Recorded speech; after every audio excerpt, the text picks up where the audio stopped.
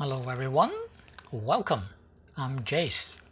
Today's topic, how to use remote control on Netflix. Well, you won't be asking this question on Android TV, but you need to use Netflix mobile version that requires mouse on non-Android TV OS.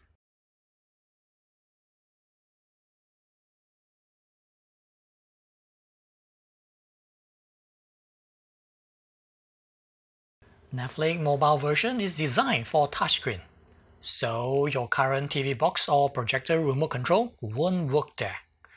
But mouse is working perfectly fine. However, this is not a great solution because you need the extra mouse.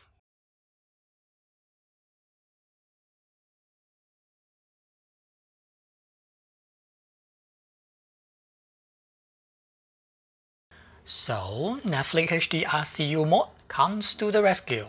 Basically, you need to install these two APK. I listed all the information you need below. Do check them out. Download the files there.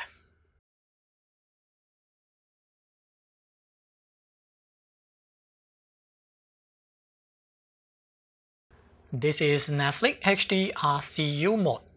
It is still experimental and might have bug. But remote control is working as you can see.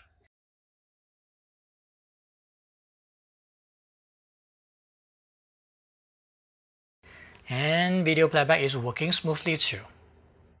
Well, that's all for now. Thanks for watching. See ya!